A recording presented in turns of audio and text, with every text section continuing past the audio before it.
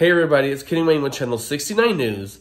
And so here we are, live on location at my North Dallas layer for a special report for Valentine's Day. I just want to take a quick minute to share someone that we are near and dear to and we love so much. And uh, you know and just at her and a good moment on her special day. But before i get into that let me just introduce you to my film crew. This is someone that you normally don't get to see because you know he's always making sure the camera is on me and we are on it and you know the nails are cute and stuff like that right?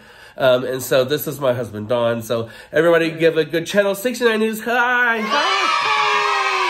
You know little insert sound there. Yeah. Uh, yeah. And uh, so anyway, so uh, hi to him. But anyway, um, I just want to take a quick moment to show you this uh, photo of my mom. You know, she's, you know, Channel 69 News, Channel 69 News's biggest reporter, yeah. eyewitness. Number one reporter. Yeah, yeah, yeah, yeah, yeah. And uh, so today was Valentine's Day where she uh, stays and she won Valentine Day Queen. She has her crown. Her smile is on point. You know, family, she is doing the absolute most and we're very happy for her. So from Channel 69 News, we want to say hi, Mom. Thank, we love you so much, and we're so glad that you won Queen, girl.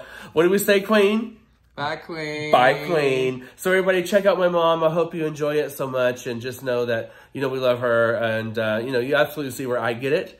Uh, you know, it's a it's a it's a long family line of news anchors over here, okay? And so that's just what we do. We report the news. So we thank you so much.